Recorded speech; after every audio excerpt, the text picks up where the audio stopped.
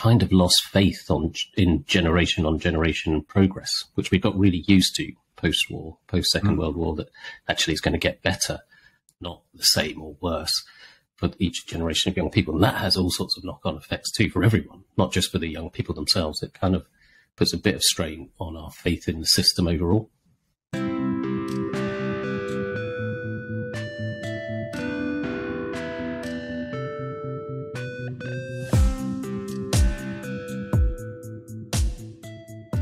Hi everyone. Before we start, I want to take a minute to talk about my next book.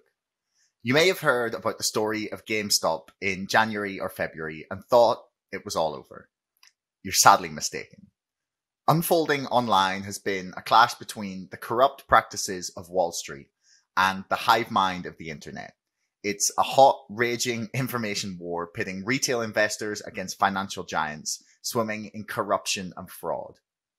The trailer is at the end of this podcast, but if you want to help crowdfund the book or just find out more, you can sign up to my mailing list to get access to a preview of chapter one or go to wen-moon.com to read more about the book. The first 200 people to pre-order the book will get a free pack of To the Moon crayons with their book. I just want to make a quick mention of our sponsors. Namecheap are one of the cheapest places on the internet to get a domain name for your next website. I've used Namecheap for all the sites I've ever purchased and have found it really easy to use. Spreaker are a rapidly growing platform for podcast recording, publishing, and monetization with pricing plans as low as $7 per month. A cheap way to host your podcast and start earning from your back catalog of shows. Finally, ExpressVPN is the internet's most trusted VPN.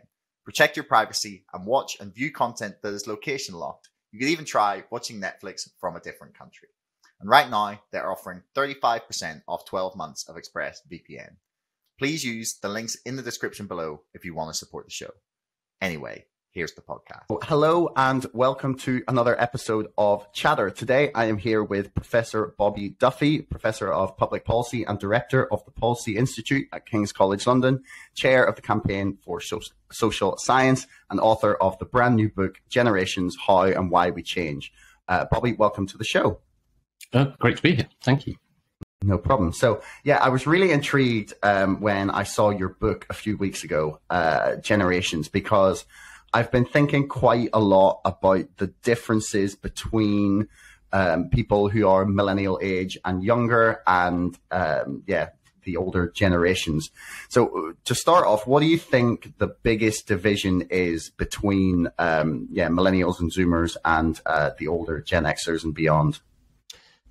It's a, yeah, it's a really good question because I think I mean a lot of the book is separating generational myths from realities because there's a, there's a lot of nonsense and stereotypes about generational difference and maybe we'll come on to I'm sure some of the the stereotypes. But there are real differences as well and that's why taking a generational perspective I think is really useful. You need to understand what is truly different in the experience and attitudes behaviors of um, generations if you want to understand where we are now and what the future looks like because you know generations are a key element of how societies change. And, and I was thinking about your question because it is, is a good one. And I think the, the main thing that is different is more about the context than, than particularly the economic context um, between between that kind of millennial and then younger group and then um, parts of Gen X and then up to baby boomers because the economic context has just changed hugely.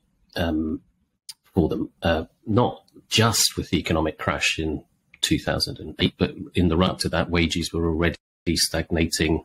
Um, uh, house prices had gone, had, you know, had decades of, uh, of continual increases, really uh, massively increased that, that, locked lots of uh, younger generations out, which was one of the big explanations of why wealth has become so much more skewed towards older people, which is a new thing um, for us that income, wealth, home ownership, all of those types of things. Is, uh, younger generations are on a very different path on lots of those things to people that were born just a few years earlier or a couple of decades earlier. So, and that has lots and lots of knock on effects on how younger generations live because it does mean they live longer at home. than previous generations. It means they are less likely to own their own home. And it's tied up with a kind of general delayed adulthood approach, which is, is driven by, you know, longer time in education, uh, and changing social norms about when you get married and have kids, all those types of things.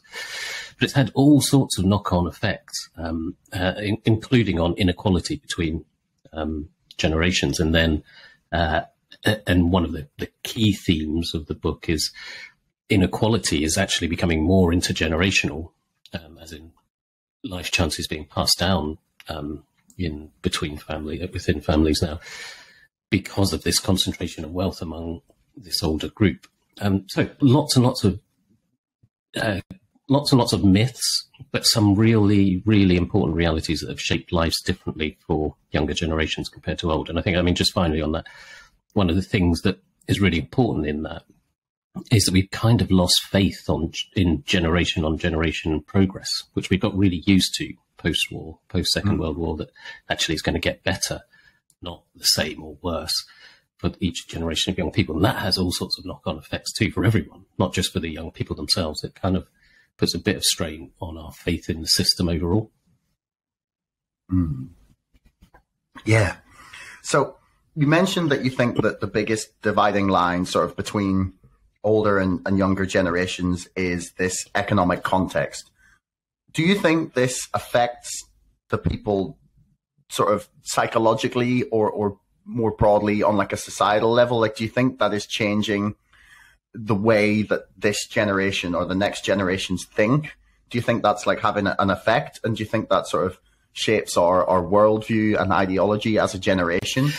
Yes, I mean, it's bound to. Um, one, one of the key tenets of um, generational thinking um, is that we are more malleable in our late teen, early adult years when you're forming your kind of worldview.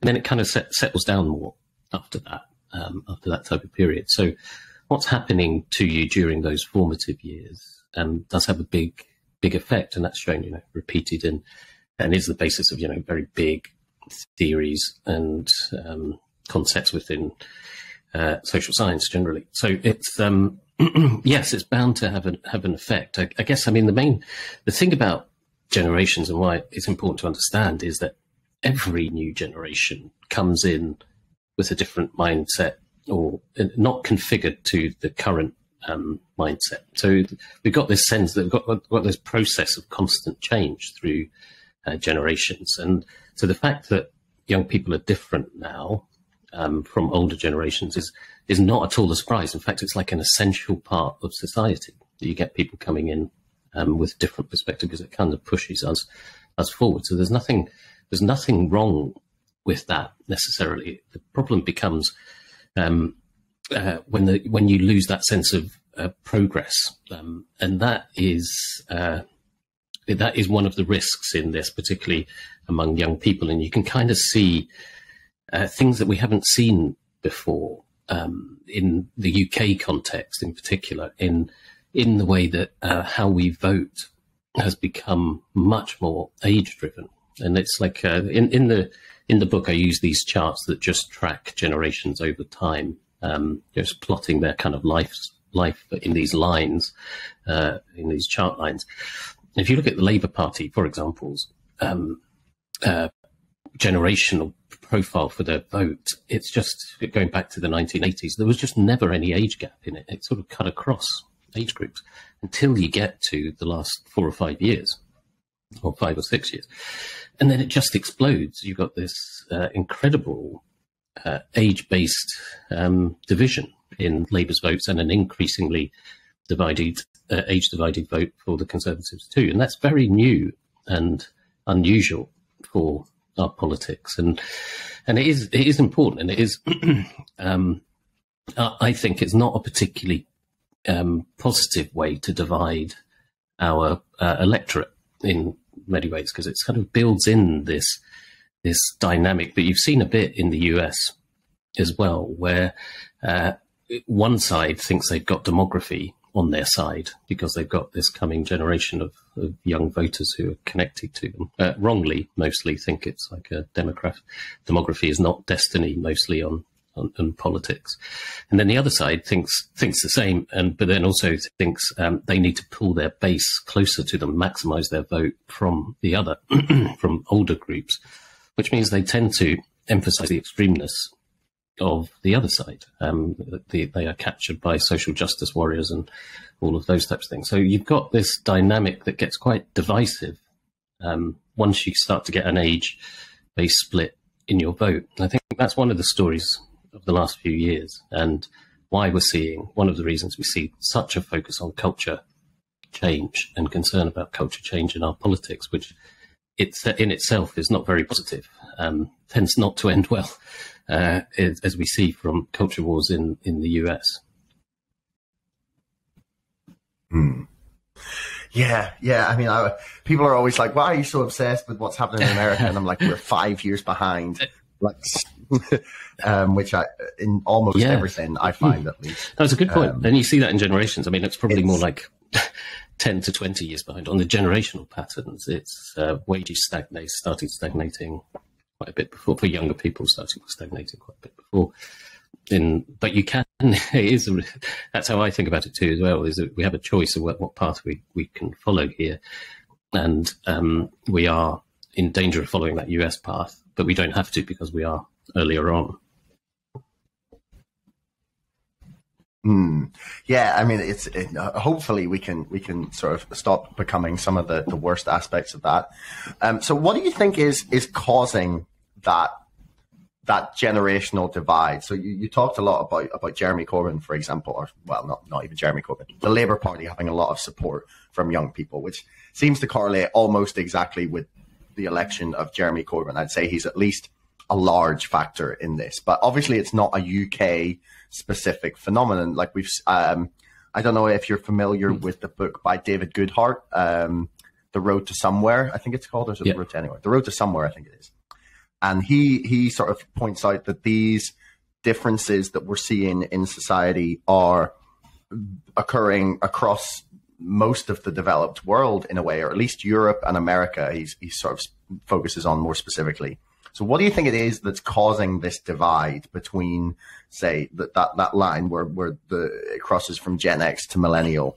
What do you think is the is the, the reason that there's such well, a, I think, difference? I, mean, I think there? it's this dynamic about um, economic stagnation um, giving a less clear sense of progress to, towards a better future than, than we've become used to.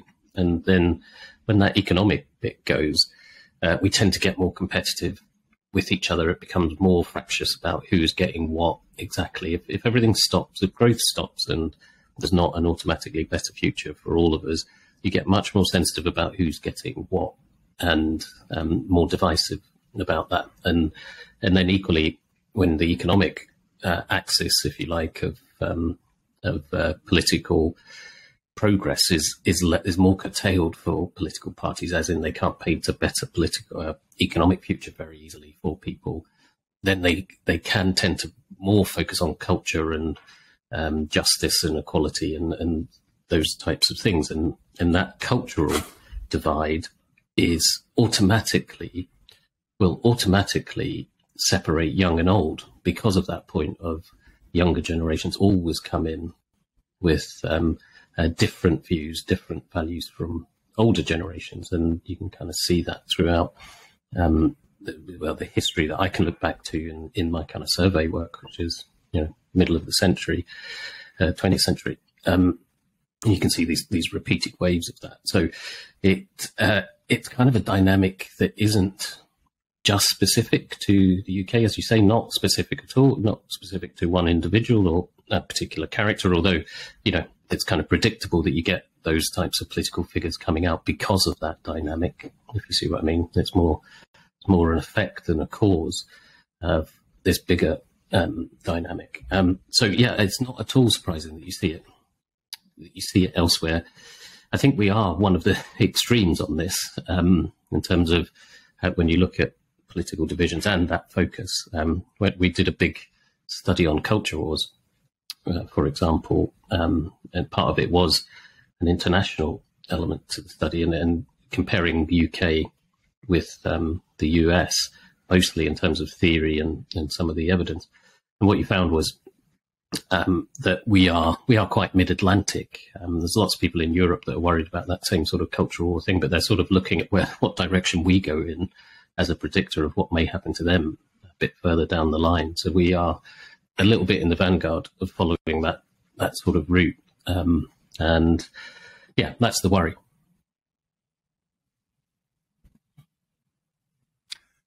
Yeah, this is slightly concerning. It's mm-hmm. um, real interesting to watch though. For there's there's definitely something like strange going on there with with exactly how divided the country seems to be in terms of yeah older versus younger people and I mean, my my assessment of it. Now you can you can correct me if you think I'm I'm wrong here, but my assessment at least is that we are looking at the degradation of of like our system of of government democracy, and that the division is basically caused by the people who at least had benefit from the way that our system is set up clinging to the hope that that can be renewed and restored versus the people who have not who have like been as I don't want to say victims of the system, but like they've not they've not prospered in the way, say, previous generations had, and that they are kind of rallying against what they see to be a completely corrupt and broken system, and they're kind of trying to reject everything that surrounds that, but being, yeah, the uh, mainstream political figures, um, the way they believe the system should be set up, even the whole way down to like capitalism itself. But that's definitely a strong theme within a lot of analysis of this. Um, and you can see, you know, there's uh, work by Yascha Mounk and there's a Cambridge University report that, that makes a lot, some of those points about um, how younger people are losing faith in democracy. And, um, and I, I looked at that data and I think it's overstated how much um, young people are actually rejecting, yeah, younger, current generations of young are actually rejecting the system. When I actually look at it, this is more looking back over 30, 40 years, um, back to the 1970s. And uh, when I look at it, what you actually see is mostly that young people come in with more trust, come into um, adulthood with more trust in politics and more trust in democracy, a satisfaction with democracy, that they slowly lose through repeated disappointments of the actual experience of democracy, um, rather than coming in as a new mm. um, a new generation that's rejecting this. And the, the, gap that some of that analysis talks about are really quite small when you zoom out a bit and you look at the long term. Because the second point that you notice from this long term view is that there isn't like a, a slow slide to inevitable decline in views of democracy. What there is is it goes up and down quite a bit, and um, you know there have been periods in our history where people were much more negative about democratic system, political systems um, more generally, and then came back from it. I mean, the 1970s does stand out in lots of countries as that, but there's other, you know, in Germany it was more around unification, um, where people uh, where people were more under pressure. Um, so, no, I, I, think it's not as negative as that. Um, I think, and that longer term view, generational view, it's really helpful to give you a bit of a sense of it's not all lost and we have some agency here. And young people are not the drivers of, uh, you know, more extreme change that you might think. And and I think there's a couple of things just to say about that is, first of all, part of the reason it feels like that is because we've got a very different information environment now where the extremes are more accentuated and more visible to people. Um, and you kind of get that sense of a very fractious debate mm-hmm. from looking at social media when actually most young people are get, trying to get on with their lives and not that uh, involved in um, these types of things. And then the second point is you've got to remember that um, our connections up and down generations are much stronger than our connections across generations. We may feel hard done by. Uh, we do uh, feel hard done by as individual generations, but we're also very connected to our parents and grandparents, and they're very connected to us. So there isn't an awful lot of resentment or uh, real calls for action for intergenerational transfer of wealth or life chances. Um, there's there's recognition that baby boomers were lucky and um, have got um, come out of this quite well uh, through uh, fortune uh, and political decisions. But there's not a big sense of actually, okay, so let's then take money off them um, and give it to young people among young people themselves. In fact, young people mostly say give more to pensioners or, or old people. Um, and that's interesting. I mean, it's like there's a, there's a very clear rebalance towards older people in wealth and income and life chances generally around housing and everything else. Uh, but what people call for is more general improvements in better jobs, more generally better housing, more generally better public services, uh, rather than a, a, redistribution. It's because we it's because of that love point, but it's also because um, we're going to get old. Age is a very strange uh, characteristic because we pass through the different groups in the way that you don't with social class or gender or ethnicity or other sorts of things. So you can kind of see your own future in how we treat older people today as well. So there's not there's not an awful lot of incentive to say let's penalise or take back from older people because we're going to be there one day ourselves, hopefully.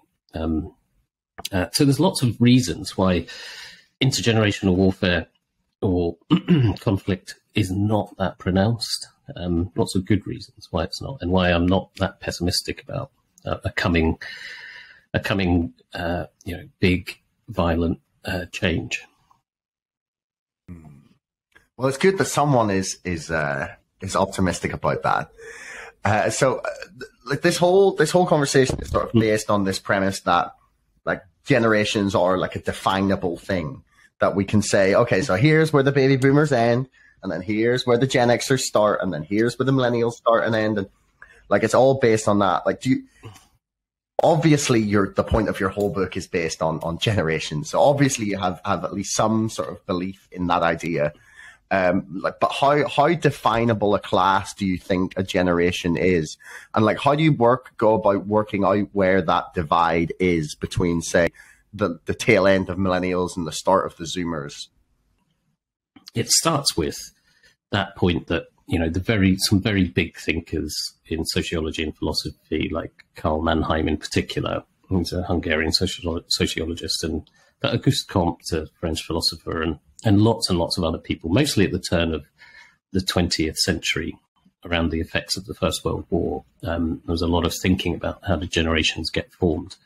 Uh, a lot of the thinking comes from that. And it is a bit, it's about the fact that at that point about in our formative years, what's going on tends to shape us more than at other points. So if there's big things happening um, during that point, then um, that will make a distinctive identity for that generation. So the pandemic is you know, the one that we're looking to now to see what that does.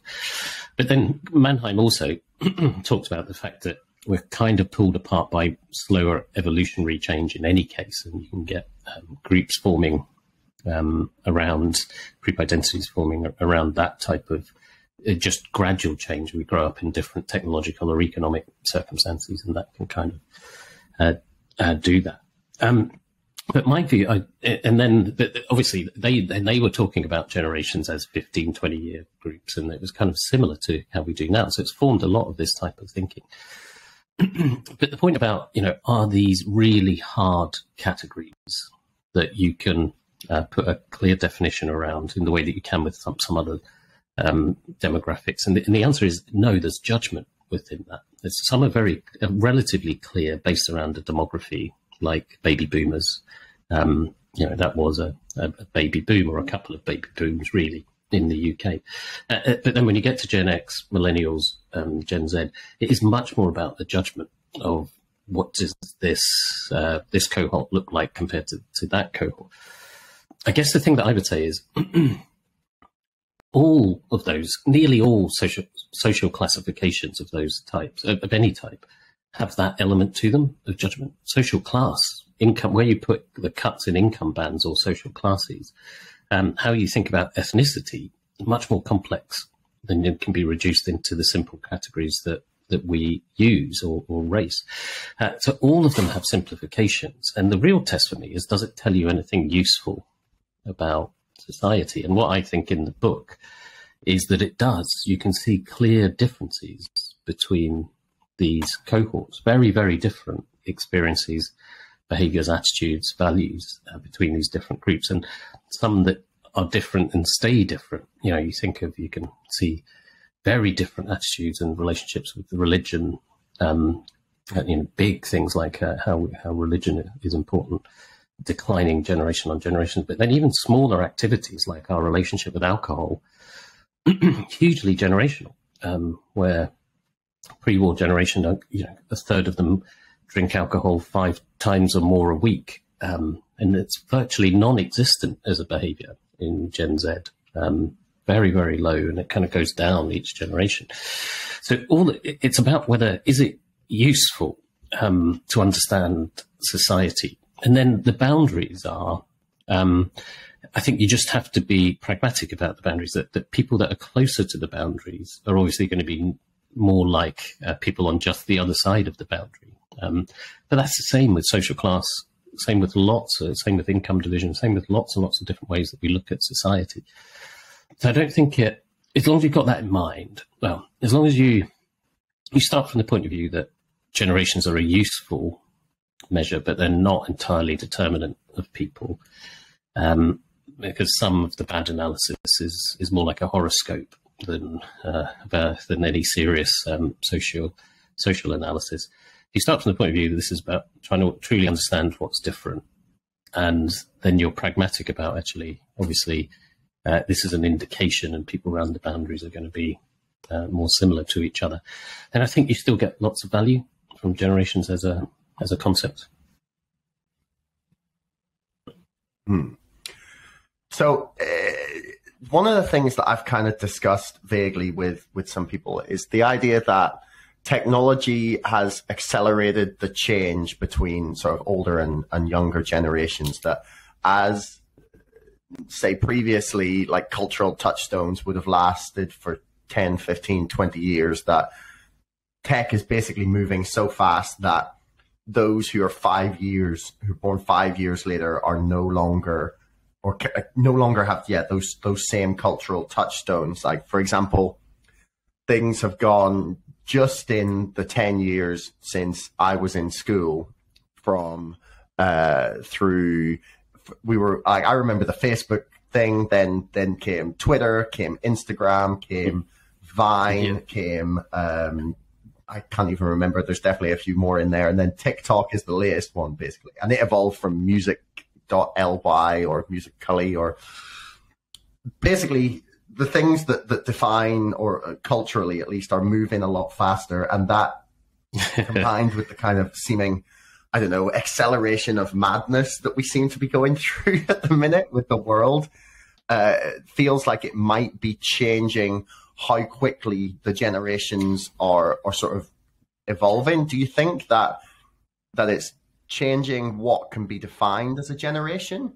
And do you think that it's accelerating and sort of increasing the differences between each next one? Yeah, again, really good point, and it's um, it does it relates to like a big discussion that Karl Mannheim and others had about generations back in the early 20th century, where they, they were, you know, feeling that they were going through a great acceleration themselves. And they talked quite a lot about what does this mean for generational formation because we've got this this faster. and Mannheim, you know, basically concluded what you had there is that the faster technology changes, um, the more uh, the, the, quicker that generations will be formed and um, the shorter the gaps between these generations. He was talking about technology, not in the way that we were, but he was talking about it in, in terms of industrialization. Um, and it was kind of, uh, you know, big economic things about moving to cities and working in industry um, and those types of things where you can see very strongly why it would have big generational formation impacts because the kind of the old skills um, that the older generation kind of were passing down to younger, which was a key bit of generational connection, were no longer relevant, and young people could actually just ignore ignore older people. And I kind of I wrote a chapter on this in the book in, on technology, and it's the, what I concluded was um, actually technology is really important to us now, um, but the platform that you're on and the emergence of TikTok versus other things is not going to be as determinant as these big economic changes and big social changes. And it's kind of because you can see it through throughout history of well, recent history of generation naming that um, every new innovation, it's a kind of moral panic um, that you see with every new innovation that this is going to change the younger generation utterly to make them utterly different from um, previous generations, and usually, almost always for the worse rather than for the better. So you've got lots of headlines in history about how uh, dime novels were creating a generation of um, of sociopaths in in the US um, because of their violent content, and then obviously had similar sort of thing about um, video games in uh, in the US and UK when they came through, and then and then that kind of feeds through into naming of generations. So there's, there's, a lot when you look at all the sort of failed attempts at naming generations. There are a lot of them that are technology driven. So Nintendo, the Nintendo generation was one that was talked about uh, for a while, and it's kind of the point is, I suppose, that yes, speed is accelerating, but it, these individual platforms and things that we use are, are still small in our lives. And we will look back on the TikTok, the idea that there's going to be a TikTok generation with the same sort of, uh, you know, well, that was foolish, um, uh, as we do on why, why on earth would there be a Nintendo generation that's meaningful when you've got all these massive forces of a changing economy, changing home ownership, uh, changing politics and um, and uh, culture more broadly, um, pandemics and pandemics and wars and all of those other things. So uh, that was the kind of that's where I ended up. Is yes, absolutely, pace of change is really important. Technology is a, an important part of that, but individual platforms and what you're actually doing on these types of things is not determining a life course for generations. Hmm. Now, you, you mentioned there that there there's some sort of there are major differences between generations. Um, some of which are quite quite obvious. And um, I actually, if anyone hasn't um, heard of you or your book, um, on the website for it, there's a great quiz that kind of lays out some of the the differences oh, well. yeah, in or the, the myths about differences between generations, which I pitifully scored only four out of ten.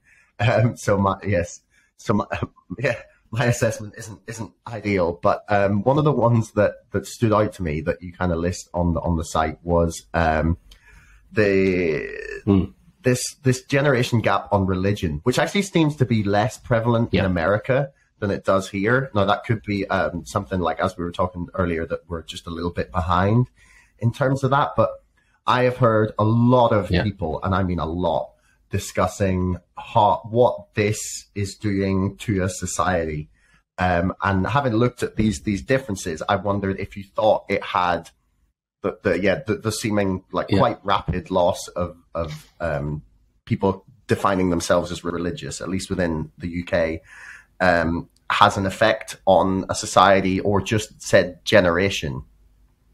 yeah, again, it's a really interesting area, and um, I think I mean like the US UK comparison is very telling and very um, important for why we're different from the US because, like you say, they, they, they've got a big obsession with what they call the, the rise of the nones or the rise of nones, which is no religion, um, because it's so important to um, a lot of the uh, social and cultural trends within the US. But when you look at their um, uh, feelings of uh, connection to religion, they are so much higher than ours. And, and a lot of things are explained in the difference between the US and UK by that or connected to that. Um, uh, in particular, it's like um, what we tend to have is a, a very an older pre-war generation who've got quite a strong connection to religion, and then there's not actually much of a gap from baby boomers, Gen X, millennials. You know, we had quite a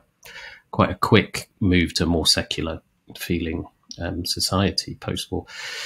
Whereas the US, it's more the differences in that middle those middle groups of baby boomers, um, and particularly Gen X and um, millennials, and, particularly Gen X, baby boomers and Gen X, which are much more religious of the equivalent generations in in the UK, and that that's connected to all sorts of things around politics and then social attitudes to uh, things like abortion and um, uh, but even uh, homosexuality and um, uh, gay marriage and, and, those types of things. So there's, there's kind of this very strong contrast and, and there's, it's core to a lot of the differences. I think, like I say, I don't, I, we move quite quickly to secular, a more secular view and, and we've got quite a, um, we've got quite a uh, cultural connection to religion that isn't deeply religious, if you see what I mean, in uh, even for for quite a long time. And you know, the people that look at religion talk about how we had something of a conscript army of people involved in religion, where you sort of had to go to church uh, on a Sunday, and there was a bit of a community aspect to it, but there wasn't very. It was never very religious in the way that some of it is in in the US um, and other countries. Um, so, and what we've moved to is a more professional army of um, people who are connected to religion. So the numbers have gone down a lot because cultural Christian, it's particularly Christianity, because um, we have seen increases in other religions, but that connection, that cultural connection to Christianity is the thing that's really gone, rather than the deeply, uh, the deeply, the deeply religious people have kind of stayed um, connected um, in this more professionalized um, force of uh, uh, connected to religion. so you actually see attendance attendance levels actually not change that as, as nearly as much and um, over time and, and not nearly as big gaps between generations because you've got that that more um, professionalized element much smaller proportion but they're there among the younger um, generation. So I, I, think it's a, I think it is a really important trend for us, but it's not the same as the US in many ways because we've always had a bit more secularity to it and a bit more kind of uh, cultural Christianity rather than deeply um, religious Christianity, at least since um, uh, in these post-war decades.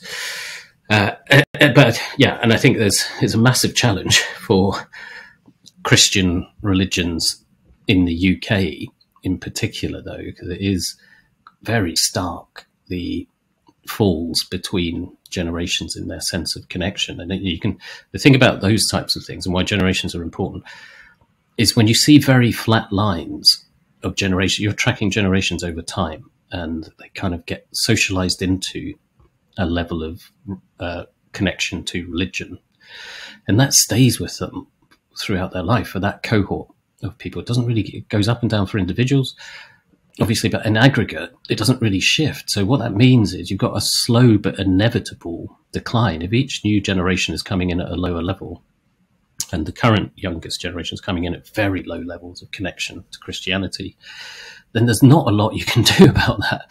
It's really hard to shift when it gets going. Um, so there is a real challenge, and and you, you see that in the Archbishop Canterbury talking about you know the actual the average Anglican now is a, an African, black African woman living, aged under 25, living in an African country because you know, it's doing much better abroad than as a religion than it is doing in the UK. So that's the challenge of, uh, of it, and it's a serious one for um, those. And you, you had, it's difficult to see how that changes, to be honest. Now. Hmm. Yeah. Do you think we've replaced it with something else? I said, yeah, it's a good question. I mean, I, I don't know. I mean, I do think we weren't naturally that close to it in any case. So the things that we replace it with are depends if you mean, I suppose, spiritually or you know, community based. And I, I think community based, those types of elements of it, we have replaced in different sorts of ways through technology and um, other types of connections. Although I mean, another one of the big themes in the book is we've lost a lot of those community uh, structures in all sorts of ways, much more individualized society. And that individualization is one of the key trends that explains partly explains why generations aren't more angry about their outcomes, their worse outcomes than they they um, than they well, they're not more angry than they uh, could be justified in being. Um, so we have had more individualization of it. Um, I don't I don't see or I haven't seen any particular evidence that there's a different sort of spirituality being replaced. I know that sometimes claimed as a generational trend in the US, and I think it's pretty dodgy um, claiming, um, to be honest, although it is more spiritual in the US, but there isn't the same sort of trend here as far as I can see. Yeah, I mean, I guess that, well, that's the whole premise of um, the series I'm watching, American Gods. I don't know if you know it. It's a great, great, great, great book. I'm quite enjoying the series.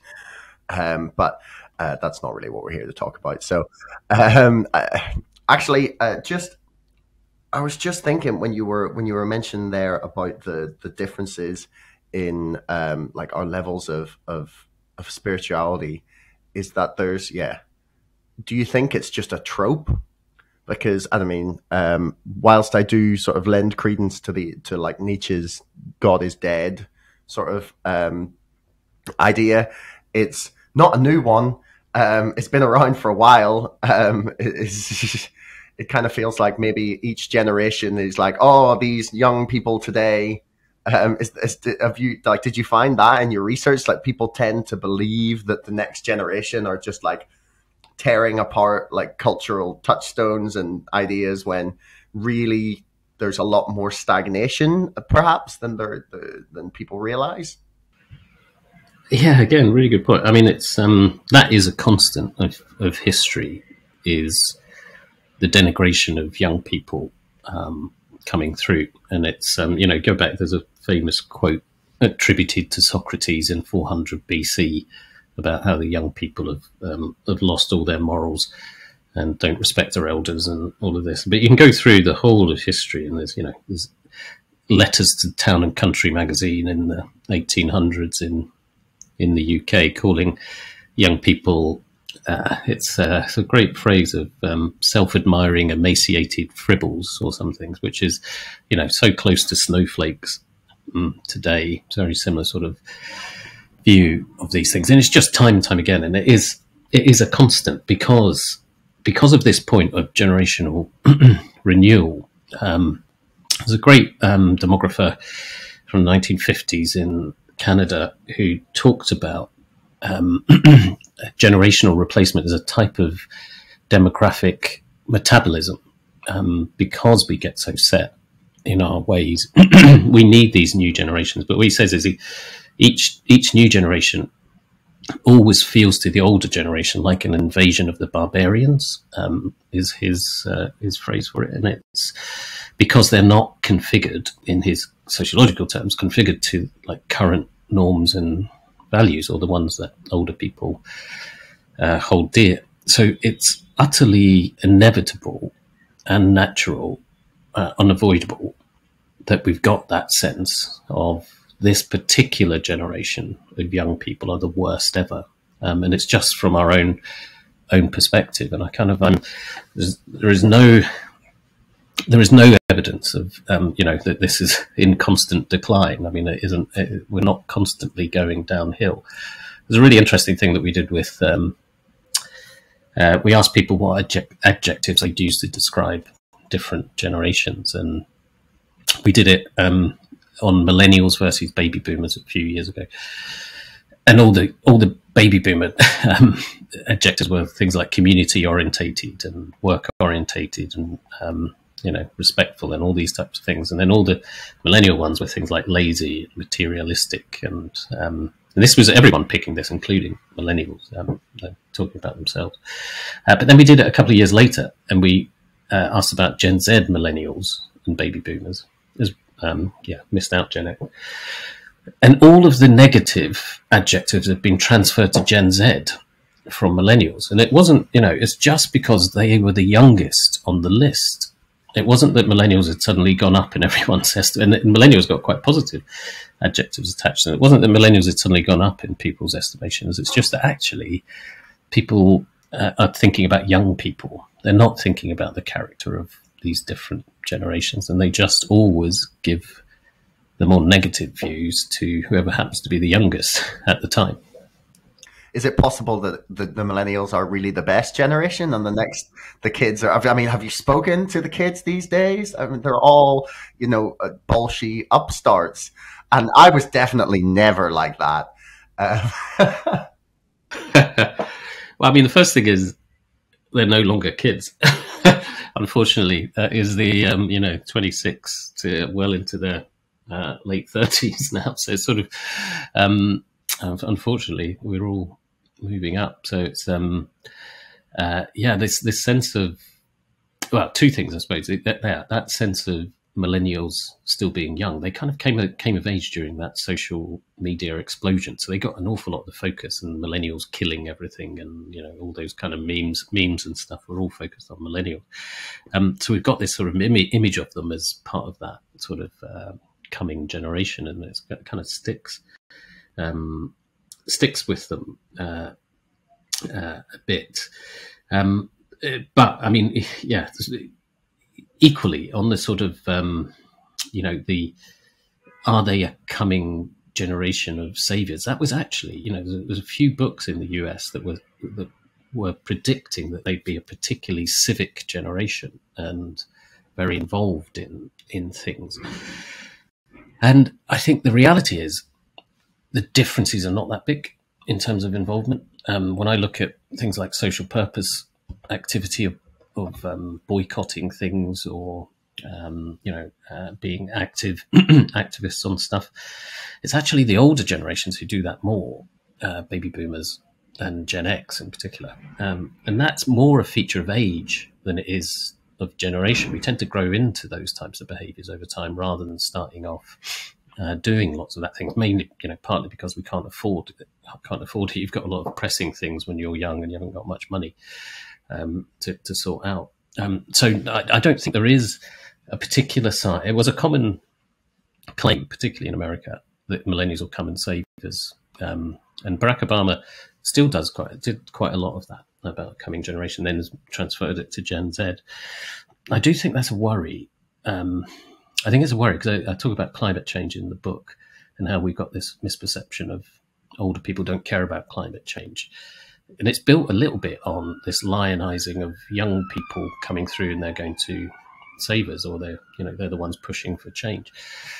But, when you look at the evidence there's not much gap between young and old in climate concern or climate behavior in lots of ways. And so i think not only are we putting an awful lot on coming generations we're also dismissing vast swathes of the population of older people who are a growing demographic um, because aging societies and also richer.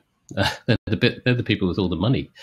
Um, so it's not very smart to uh, position it as older people don't care. Really, you want to bring people into that, um, not dividers, according to fake differences. So we need we need to we need to be careful of lionizing the young or hoping that they're going to sort everything out uh, because it's not true, but also because it's counterproductive.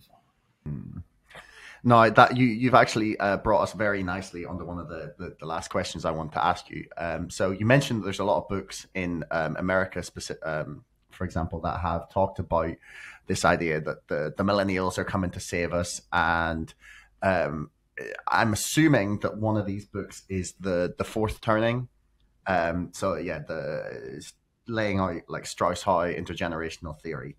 Um, and it basically, to me, um, seems to be like a coda, like a codification of that that sort of that old trope um, that Laurence Fox got in a lot of trouble for tweeting uh, recently. Uh, that um, strong men make good times, good times make weak men, weak men make bad times, bad times make strong men. So along those lines. I mean, I also think we have to replace the word men in that with people. But um, for you know the modern context. But like I think that the, I at least think that the, that credence, that sort of idea has some sort of credence. Um, I don't think it's it's that wrong. I mean, I I don't think that like it's an exact in, ineffable science, but the fourth turning at least it seems to have some sort of uh, some sort of validity to me in terms of how um, societies and institutions sort of degrade over time and then renew themselves through um, as a result of crisis. And obviously, the, the the authors of the fourth turning have picked, I think, 2025 it was as this like oncoming collapse or crisis or however you want to define it. Like how much credence do you give to that theory? And and yeah do do you buy it essentially? Uh, yeah i mean I, I really liked the book and the and the well all the the generation the first one on generation and then fourth turning was um, really it's a they're really interesting um, books, but I don't think they're right.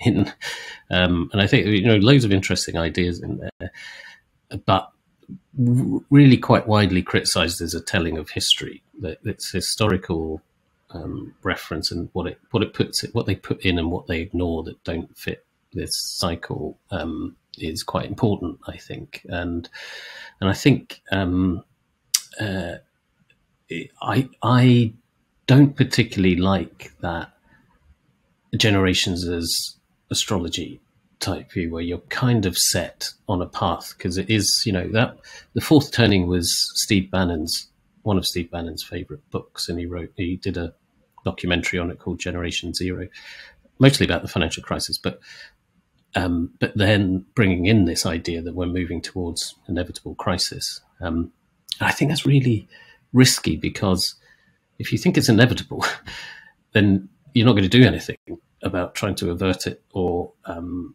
uh, or take any kind of action. And it sort of like almost embracing this cycle of um, crisis. And then, I mean, on the specifics of it, I think you know it did seem to shift quite a lot when Strauss and Howe were predicting this. It was anything from the 2010s all the way up to um, the 2020s. I think was um, when you look at their things, they give themselves quite a wide um, margin. And then I think finally, from my perspective, I, I mean, it sort of shows the um, the foolishness or the you know foolhardiness of that type of prediction when we have a pandemic like we've had, um, because you know we may well end up with a crisis like that, uh, but it will be the result of a of a virus that started in the Wuhan district in China and that is nothing to do with the particular configuration of generations that we have right now. So it's it's kind of it almost illustrates. Um, and I, am also, you know, so you, you, could count the pandemic as a black swan event, um, as uh, Taleb would call it, and these unpredictable things happen, and they're the ones that you really that really matter. Um, and I also kind of think that's true, but it's also really important to know what's happening the slower changes that are happening between generations because the context it lands in is really important too when you have these types of events. It doesn't dismiss the history, you know, the slower moving history, not not saying everything is down to events. Um, but I do think that is overreaching in terms of this 80, 80 year cycle of catastrophe.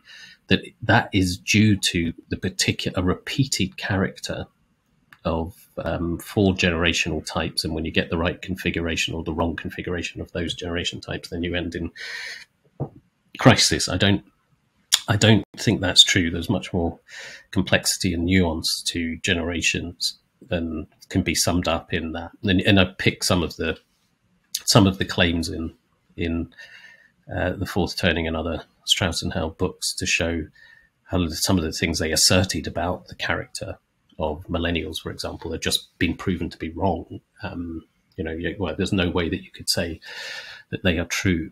Um, so, uh, yeah, so I, I, would I would question that partly because it doesn't seem to fit, but most mostly I think in the end because it gives you a sense that we've got no agency and we can't change anything. Mm. Yeah, it's definitely it's. It reminds me of the was it Harold Macmillan quote, like events, my dear boy. You know, you might made I made this nice model, and then the pandemic comes along. Um, we have yeah yet to see what what sort of effect that has on the the generation that's that's grown up with that.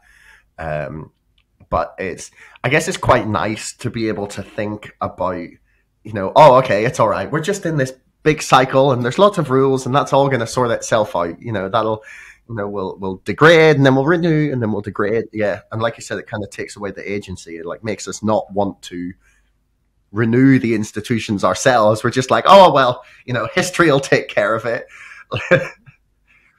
Which is yeah, quite um, almost a pessimistic uh, way to look at it.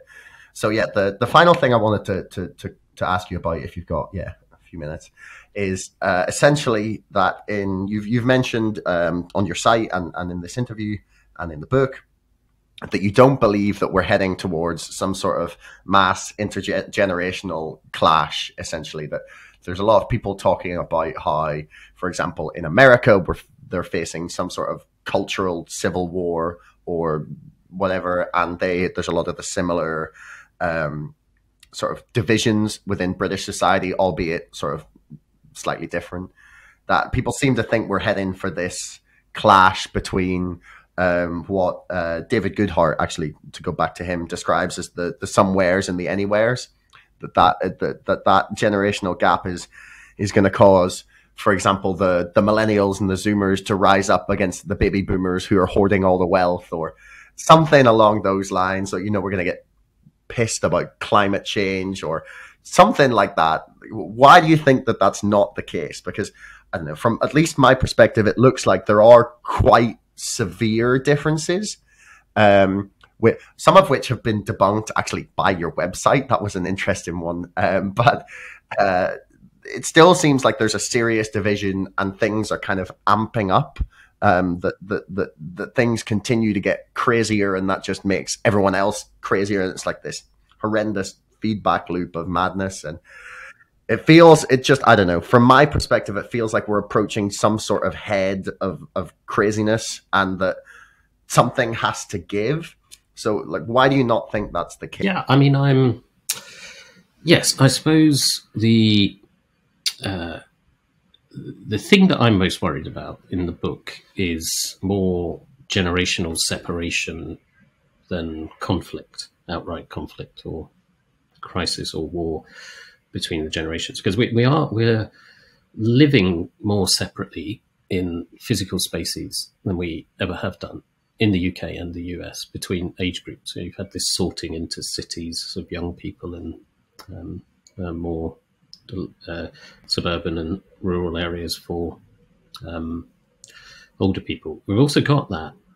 digital separation where we have got um, you know, we, older people may be more likely to be online now, but they're doing different things and they're in different spaces to younger people. So there's still really significant separation between them. And then we've got that type of political separation that we've seen emerge as well of different, uh, very strong age gradients in party support. So I think the real issue is that separation, because with that separation comes that sense of division and stereotyping of the other side and all those all those other things that make it feel like we're very close to crisis. I guess because it gets the when you're in two separate camps, you kind of uh, end up denigrating the other side, not understanding the other side, and that leads to misunderstand, you know, misunderstandings and then negative views of uh, each other.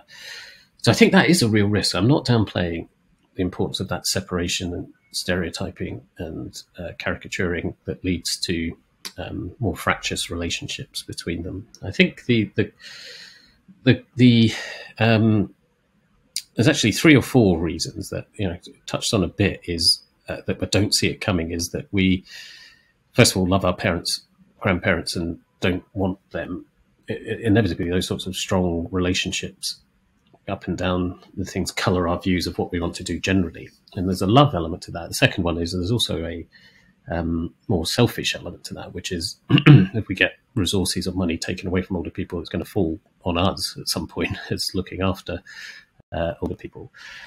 The third one is is that view of we're all we're much more connected by age than by other characteristics because we all age. It's different for us, and you know people like the late great John Hills talked about the welfare system as a lifetime redistribution system from you know at various points from to children towards children and towards old people from people earning in the middle. And it's kind of we've got a kind of sense of that ourselves that we we need to be looked after. We will need to be looked after later as well. So we've got that sort of sense.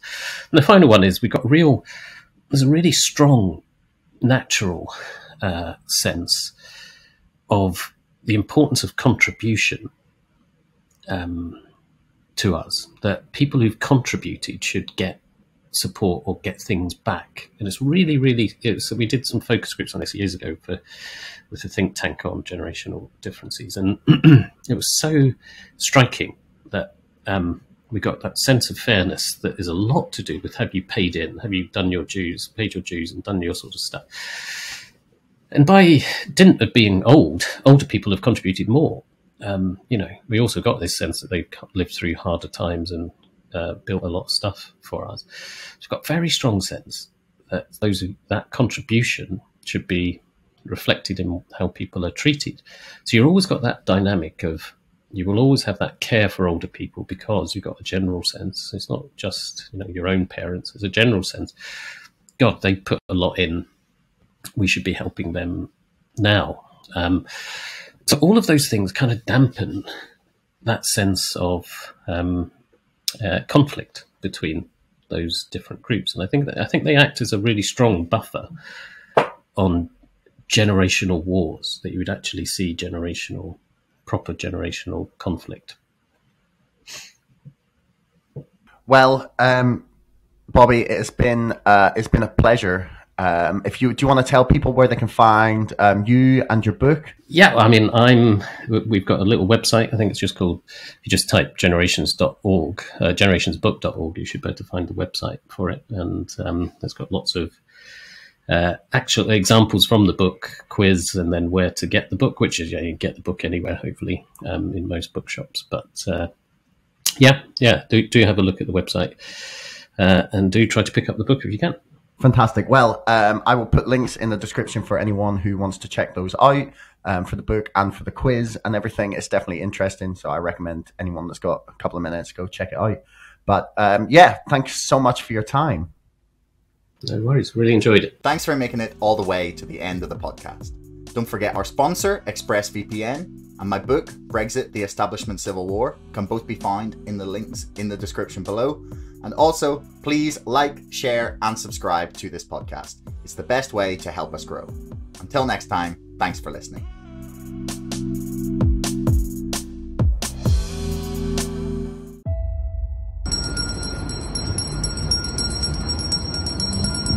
The animal dragged a child around its enclosure. The child had fallen into that enclosure. Officials are now defending their actions. ABC's Alex. A few things I am not. I am not a cat. I am not an institutional investor, nor am I a hedge fund. There's no panic selling. These people, you know, they may have bought at four dollars, sat through four hundred dollars, went back to forty, went to three fifty, back down to one hundred and ten, and they have not sold. All they've done is bought more, and there's no answer for that. There's no, they, they, you know, it, it is like art of war mastery by a bunch of idiots who should know better, and they're just, they're just like I'm not fucking leaving. Fly me to the moon, let me play among the stars. Let me see what spring is like on Jupiter and Mars. What's been happening on Reddit and in social media and in the marketplace has never been seen before. Uh, to short 70, 60, 80% of a company, let alone 140%, I think a lot of people universally believe something is wrong there. They're powerful. They want a stock higher. It's child's play. Why ever sell into the maw of Wall Street, you know, Reddit bets? Why? Why? Why? But everyone's wrong. It's like the big short again, or more like the big short squeeze this time, right? So here we got the fox guarding the hen house, and one of the hens is complaining the fox is out to kill us. And the farmer says, I'm sorry, the fox is in charge of the hen house. Whenever there is not billions, but like trillions of dollars involved in something, it I, I argue that nothing is off the table.